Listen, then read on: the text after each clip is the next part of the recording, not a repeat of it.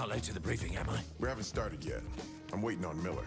Still feel bad about punching Matt in the face. He'll get over it. Or he'll kill me in my sleep. That's always a possibility, too. Whoa, whoa, whoa, guys.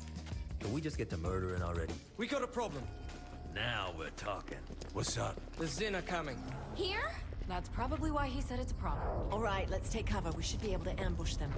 Not so sure about that.